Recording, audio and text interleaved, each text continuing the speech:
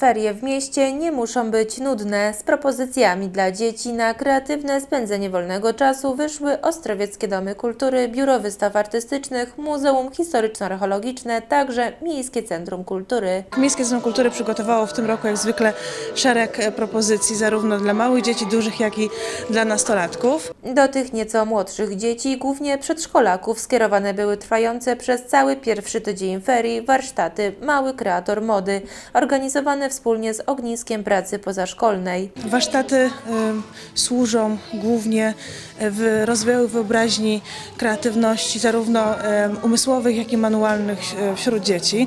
Tutaj zachęcamy i po- wszystkie panie, żeby dzieci pracowały same jednak, bo panie lubią pomagać.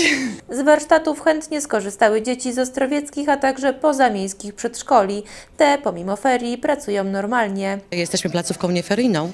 E, Organizujemy dzieciom w tym czasie ciekawe zajęcia, ponieważ jest to e, dyżur, m, na który uczęszczają dzieciaki ze wszystkich grup przedszkolnych. Czyli dzieci od 3 do 7 roku życia. Te mogą liczyć na ciekawe zajęcia zarówno w przedszkolu, Jeden tydzień poświęcamy zdrowiu fizycznemu, a więc są to zabawy sportowe na wesoło, ale również spotkania ze sztuką. Dzieci lepiły już u nas w przedszkolu z gliny, poznawały malarstwo, przybliżaliśmy im muzykę, również muzykę klasyczną.